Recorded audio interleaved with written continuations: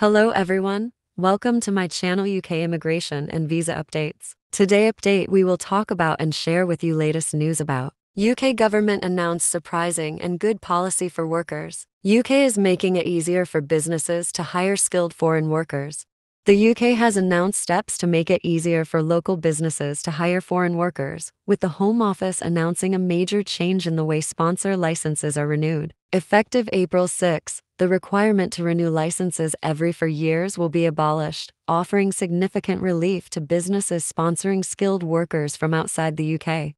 This development will streamline the process for employers who previously faced the administrative burden and cost associated with periodic renewals. Under the previous system, sponsors were required to submit applications 90 days before the expiry date, incurring fees ranging from £536 to £1,476 depending on their size and charity status. Processing times for renewals could also stretch up to eight weeks. Recognizing the challenges and aiming to improve efficiency, the Home Office has opted for a more automated approach. Existing sponsor licenses expiring on or after April 6, 2024, will be automatically extended by 10 years, eliminating the need for renewals altogether. Sponsors holding valid licenses within this timeframe are not required to take any action, their licenses are automatically covered by the extension. The Home Office has said it will contact sponsors who have already initiated the renewal process to arrange the refund of their application fee. To verify their license expiry date,